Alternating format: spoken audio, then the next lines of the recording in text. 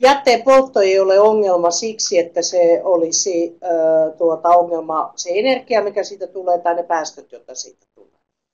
Ongelma on, ei kirjojen tota, polttokaa ongelmallista siksi, että ei sitä lämpöarvoa saataisi.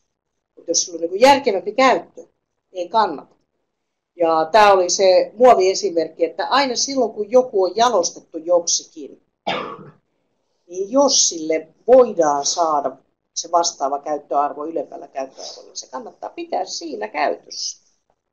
Ja sitten tämä energiajuttu pitää, siellä on paljon energiatehokkuudessa ja sitten osa siitä tulee bioenergiastakin ennen kaikki uusiutuvista ja siellä on uusiutuva energiarakenne, niin se on niin sitten oma juttunsa.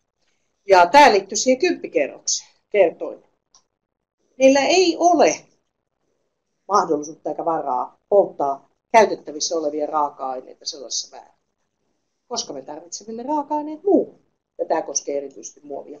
Erityisesti myös tekstiiliä. Ja siellä esimerkiksi tämä kiertävä tekstiili, se on itse asiassa VTT, on kehittänyt, Enso on sitä kehittänyt, ja silloin me voidaan niin sekoittaa sekä olemassa olevaa tekstiiliä. Siinä näitä ballerinamekkoja kuskataan pitkin Afrikkaa, niin siinä suoraan ei ole kyllä mitään jää. Eikä ihan hirveästi siihen Kiinaan rahtaavissa jos käytetään uutta tekstiiliä. Me voidaan niin tämmöisellä kuitusekoitteilla itse asiassa käyttää sitä vähän niin kuin, eihän paperiakaan kannata suoraan polttaa, vaan se kannattaa kierrättää esimerkiksi kartot. Eli siinä on niin sama logiikka tässä jätteenpoltossa.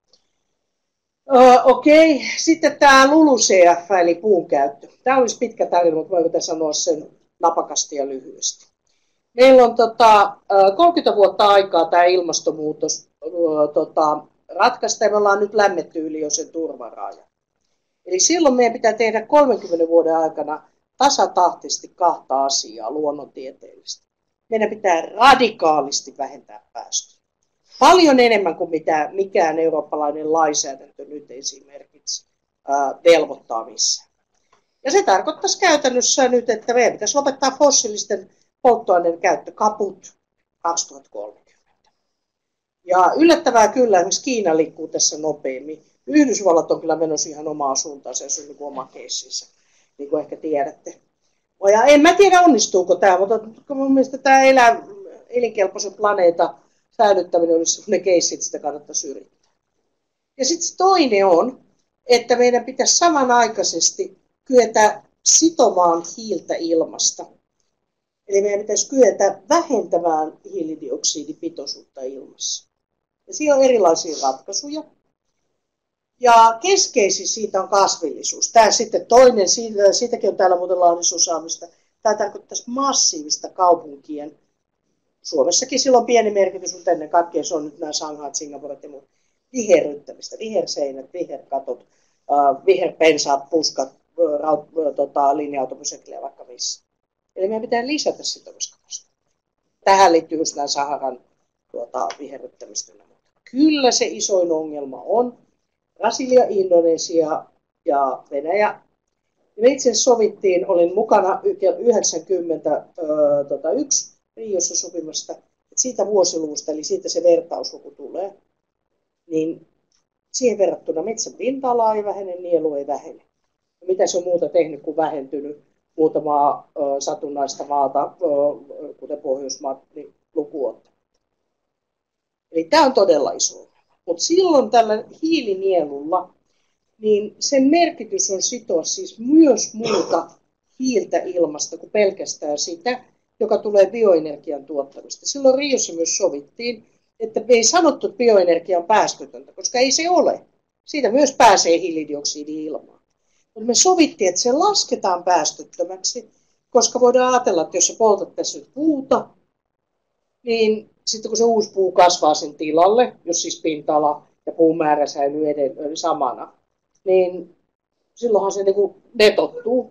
Eli ettei synny niin lisää hiilidioksidia ilmaan toisin kuin esimerkiksi kivihiilen polttamista. Mutta se puun kasvu kestää enemmän kuin se 30 vuotta.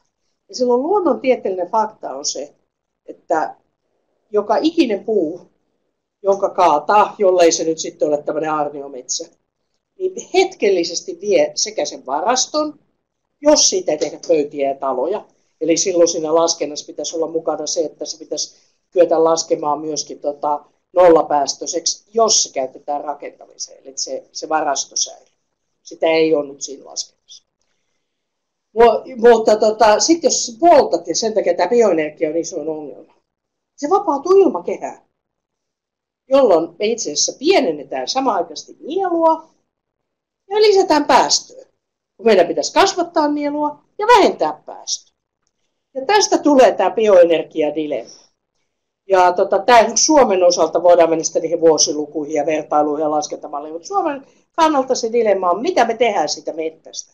Tehdäänkö me siitä puurakenteita, tehdäänkö me siitä niitä vaatekuituja, tehdäänkö me siitä edes niitä sellaisia pakkausmateriaaleja ja muuta, jotka kiertää, onko se nelos- tai viitoskertoimella, kun se kuitu saattaa parhaimmillaan kiertää kymmenen kertaa, vaikka se kiertääkin sen paperin kierrätyksen kautta. Ja tehdäänkö me siitä aidosta sivuvirrasta, siitä mistä ei voi tehdä mitään muuta.